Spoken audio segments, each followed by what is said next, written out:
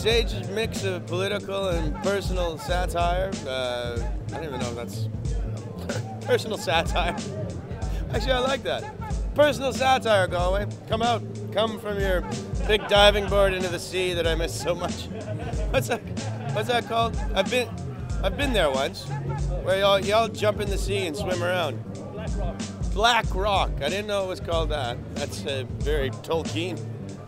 like, did I get a magical power from doing that? I feel like I should have. I've, I, uh, I've got a friend, uh, Frankie Boyle, and we did a uh, podcast together where I, um, I suppose that Scottish people are actually really uh, centered and friendly. Uh, it's the whiskey that makes them shouty and racist. I know it does to me. yes, me too. I'll see you soon, Galway.